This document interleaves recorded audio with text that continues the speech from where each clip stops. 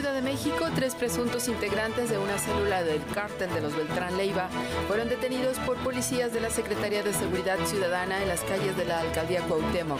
Se trata de Benjamín N., de 46 años, identificado como el principal colaborador de Adalid López América, alias El Tío, líder de una célula del cártel de los Beltrán Leiva, quienes operan en la Ciudad de México, Hidalgo y Guerrero, y a quienes también se relacionan con la falsificación de billetes, así como la compra y venta de armas. Junto a Benjamín N. también fueron detenidos Gabriel N. y Joao Carlos N., ambos de 36 años, cuando transportaban droga y en posesión de un arma de fuego en calles de la misma alcaldía.